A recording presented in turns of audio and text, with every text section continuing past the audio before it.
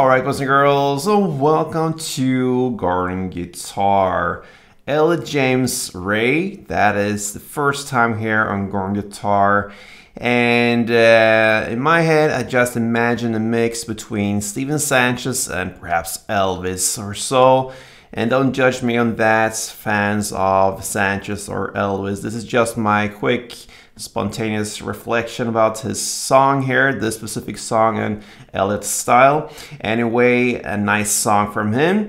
And this one is called, I think they call this Love. Okay, so uh, making guitar tutorials, I think that is love actually. So let's do this together, guys. And uh, yeah, this is a piano based song and sometimes that could be a little bit tricky, a lot of extra notes here and there, but this one is just a very straightforward strumming uh, or playing on the piano, so it's very easy to cover this and make it on a guitar. So let's start this one up, and the challenge here in this song is um, numbers of chords. Right, so the playing is pretty easy, chords are pretty easy, but we have 10 chords. So yeah, let's start to run through there, starting with C. So you have third on A, second on G, open G, first B, and open E. A minor next. That is open A, second D, second G, first B, and open E. We have D minor, and that is open D, second G, third B, first E.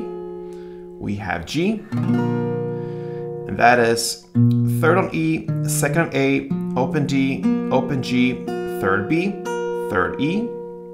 We have E, that is open E, second A, second D, first G, open B, and open E. And we have F.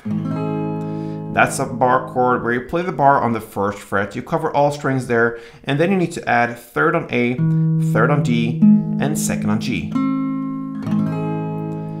I make a stop here because these are the bass chords, basic chords for the song, but then after the solo part and the ending part, eh, everything goes up a notch there and it gets higher, and then we need to replace chords with some completely new chords for new chords there. So that will be uh, to continue with D, and that is open D, second G, third B, and second E.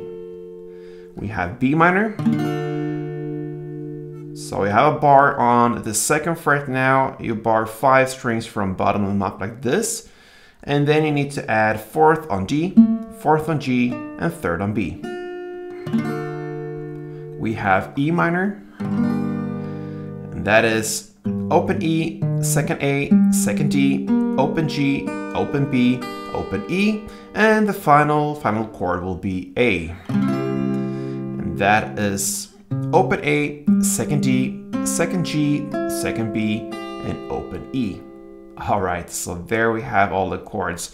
Not too hard, just a lot to uh, memorize or handle. Could be like that, but yeah, I think we'll manage. Let's do this together. Starting now to learn the strumming. And we have C as the first chord. All right, so grab that one. And one full round will be about six downs. So uh, like this. Okay. Notice I'm highlighting the fourth down. So I'm playing one, two, three, and then on the fourth, I go down and play on the higher strings. All the other downs I play in the mid bass area. And then on the fourth down, I go down here. And then I go back on the five and six and play in the mid bass area again. So one string around like this, And a couple rounds.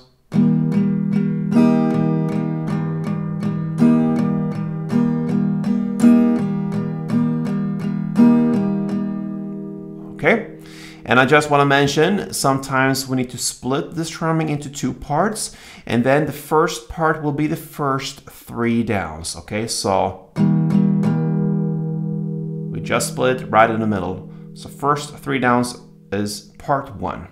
Now we're ready for song, so let's learn the first verse.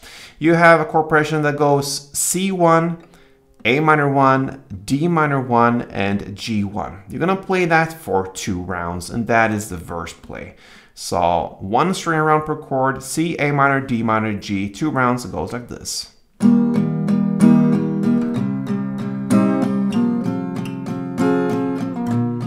Again, C, A minor, D minor,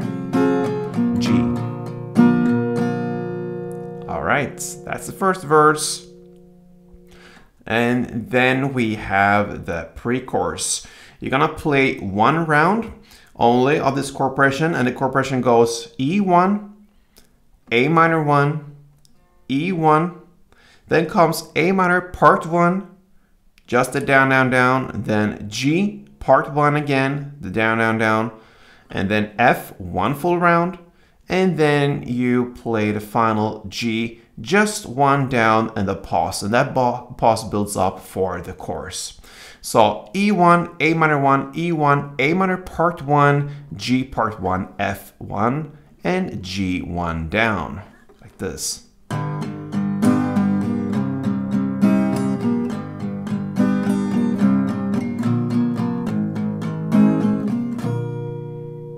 And a pause.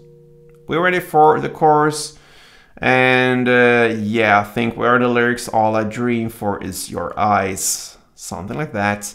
And that is the chorus play. We're gonna play C, A minor, D minor, and G for two rounds. That's the same as the verse play.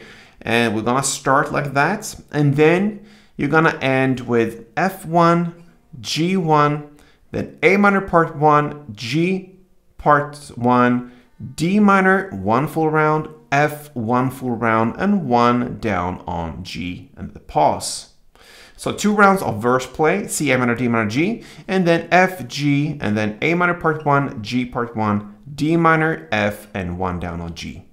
So I don't think we have to go through the verse play, but the final part here of the chorus goes F1, G1, A minor, G, D minor, F, and G, and the pause.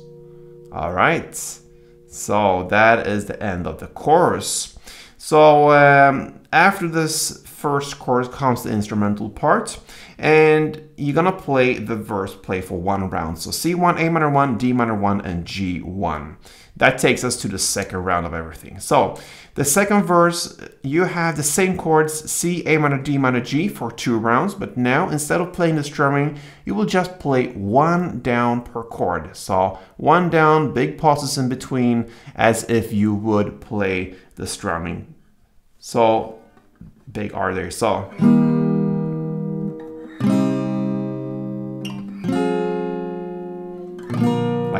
For two rounds. All right, that is the second verse. And then over to the second pre-chorus, played in the exact same way as the first one. And the same goes actually with the second chorus, no changes there. Played in the same way as the first one we just learned. And uh, then we have the second instrumental part, and it goes um, C1, A minor 1, F1, and G one down and the pause. All right, so that is the instrumental parts, almost as the verse play, but you have replaced the D minor with an F and then you just play one down on the final G with this pause. Why pause there in the second instrumental part? Because that builds up for the solo part that comes right now. At about two minutes and two seconds into the song, and now we have this uh, new chords we're gonna work with till the very end, so to speak. Everything goes up a couple, uh, yeah, two frets. Uh, that means uh, on the fretboard here, if you wanna know that, uh, you don't have to really, but I can just mention the chords. So you're gonna play in the same way, okay? Same strumming, no changes there. But now you play D1, B minor 1, E minor 1, and A1. You're gonna play that for two rounds to start with. So D, B minor, E minor, A. Again.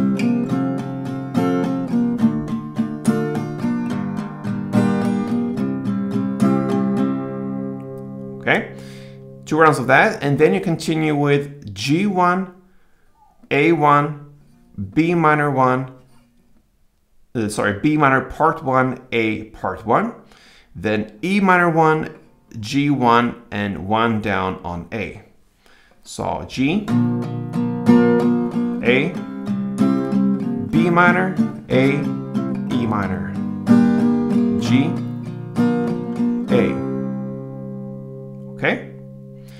Then you go to the third chorus, okay? And that is now the final parts of the song. You're gonna play in the same way as you played the solo, the D1, B minor 1, E minor 1, and A1.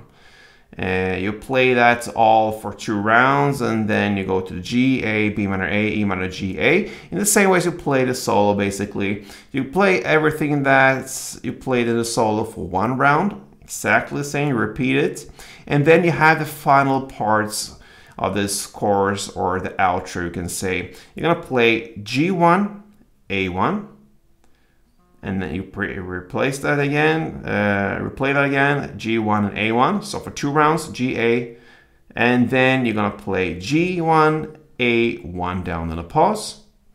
And then the final end will be D1, B minor 1, E minor 1, and A1 with a pause, and then you end on the A. So, the outro part there, I'm gonna take you through that. So basically, the third chorus after the solo was to play again this solo in exact same way you finished it. You played it, and then I'm gonna take you through from there on, and you're gonna play G1, A1, again, G1, a1, now G1, A, and pause, and then D, B minor, E minor 1, A, pause, and then you end with D.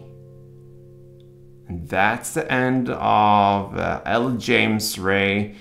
I think they call this love. So a uh, nice song there if you love style of Sanchez or so. That's what I connect this song to in this genre, then you would love this one as well. So give it a try, guys, and I hope that this was educational and helped you. If it did, leave me a like on this tutorial, and I'm happy. Thank you so much, and play tuned.